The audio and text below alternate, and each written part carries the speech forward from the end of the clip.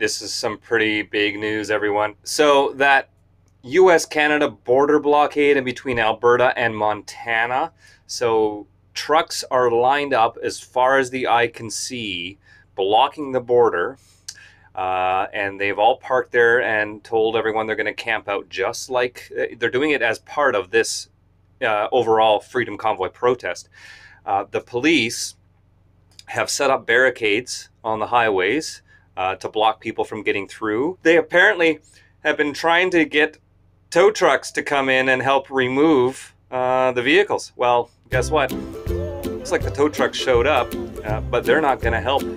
They refuse to help the authorities, and they're joining in. Oh, oh, and it gets even better. It gets even better. The farmers are joining the protest as well. And so they weren't going to take any of this crap, and they broke right through the police barricade to join the truckers in solidarity. Check this out.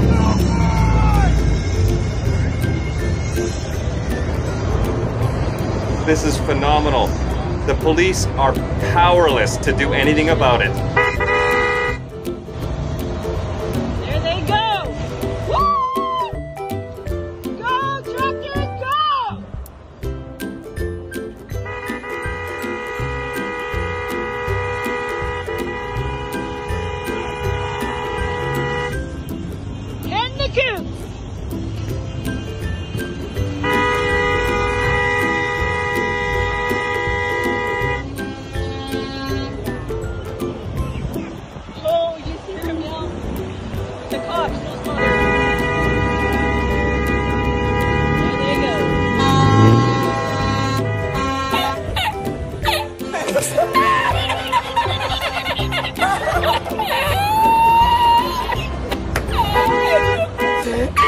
It's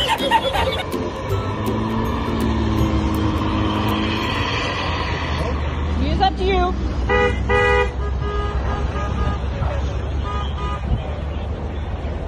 Here we go.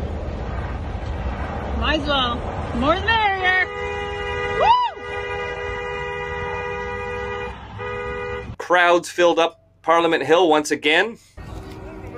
A bunch of truck drivers decided to set up a hockey game on the streets downtown. What could be more Canadian than that? They're digging their heels in. Oh, and speaking of tow trucks not helping out, Okay, I just I just sitting in my truck here warming up. I just got a bunch of nice fruit dropped off to me. And I was just talking to this gentleman and this nice lady came by and had something to share with everybody. You want me to say it? Yeah, yeah. What what just happened here?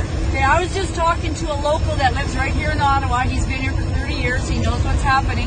And he told me that the mayor of Ottawa is, he called the tow truck companies to start towing these semis off from the streets.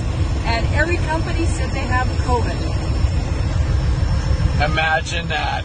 Yeah. Don't worry, Justin. We'll be gone by yesterday. oh, I don't know why, but this all just puts me in a really good mood today.